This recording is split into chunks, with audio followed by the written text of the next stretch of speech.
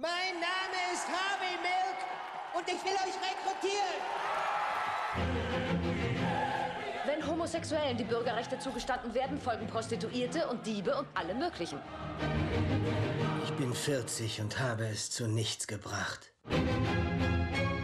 Keiner vertreibt mich aus San Francisco und meinem Amt schon gar nicht Asoziale und Wiederholungstäter. Einer von uns muss gewählt werden. Wir können eine Revolution starten. Verlieren gibt's bei mir nicht.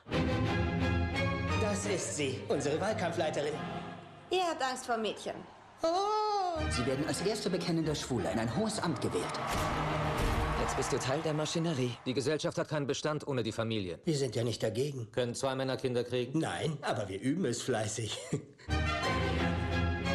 Wenn diese Leute ihre Homosexualität offen ausleben wollen, werden sie des Amtes enthoben.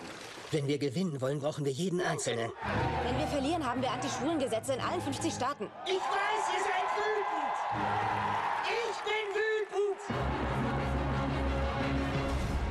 Sie sind nicht wie die meisten Homosexuellen, Harvey. Kennen Sie viele Homosexuelle, Dan? Harvey Milk wird abgestochen und elend krepieren. Ich rufe die Polizei. Stammt vermutlich von denen. Ein Problem für Sie? Das ist mehr als ein Problem. Unser Leben steht auf dem Spiel. Dafür kämpfen wir. Wir knallen dich ab, sobald du ans Mikrofon trittst. Du musst da nicht raufgehen. Alle Menschen sind gleich. Ihr könnt machen, was ihr wollt. Diese Worte könnt ihr niemals auslöschen. Das ist, wofür Amerika steht.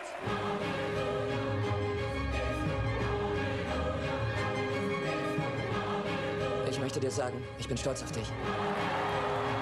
Ohne Hoffnung ist das Leben nicht lebenswert.